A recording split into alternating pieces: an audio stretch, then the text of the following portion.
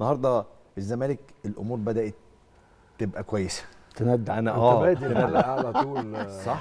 آه. زمالك. وإحنا هنبدأ بإيه؟ معاك آه، كابتن. هشام ياكن ابدا آه، بإيه؟ على طول. آه. نبدا بالزمالك على طول. لا هو طبعا اولا إحنا كان يهمنا المكسب طبعا 3 بونت النهارده طبعا.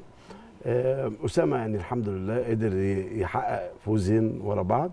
آه، اللقاء آه، يمكن الناحية الفنية مش. هنتكلم عليها كتير جدا لكن انت عارف ان في ظروف طبعا صعبة بنقول وطبعا الزمالك يتعافى. بالظبط. يعني بيتعافى. يعني وخلي بالك يعني برضو انت النهارده برضو يعني غياب بعض المؤثرين جدا في الفريق. صح. طبعا بيأثر في الفريق لكن ابتدوا اللعيبة يعني زي ما انت بتقول بتتعافى شوية. النهارده إمام كان عاشور كان في الملعب في نص الملعب. الشوط الأولاني كان يعني مظبط الأمور شوية وكان شكل التيم كان كويس.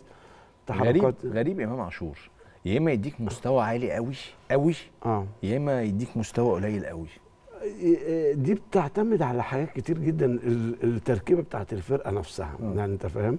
لكن الربع ساعة الأولانيين كان في تفوق لنادي الزمالك قدر نادي الزمالك يسيطر وقدر ان يخطف الجونين في الماتش ده. يمكن هو ال- الكرة اللي شاطها في الجون جابها جون وعمل الجون تاني التاني يعني يعني. آه، فدي كان يعني إيه ارتاح شوية. عارف زي ما تقول كان محتاج الجون ده محتاج إن هو كان بقاله كتير ما بيشوطش. بالظبط. يعني ما هو بالظبط. هيشوط هيشوط كل ماتش. ما كان. بز...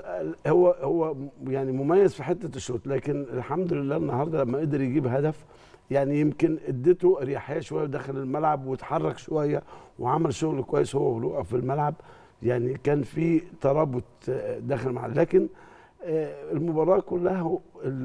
الوتيرة بتاعتها برضو يعني مش المستوى اللي إحنا كنا. منتظرينه لكن أنا بقول كويس كده ان إحنا طبعا كسبنا المباراة ونادي الزمالك قدر يحقق الفوز وده المطلوب يعني حاليا إلى أن طبعا آه، آه، المدير الفني الجديد إن شاء الله يمسك الفريق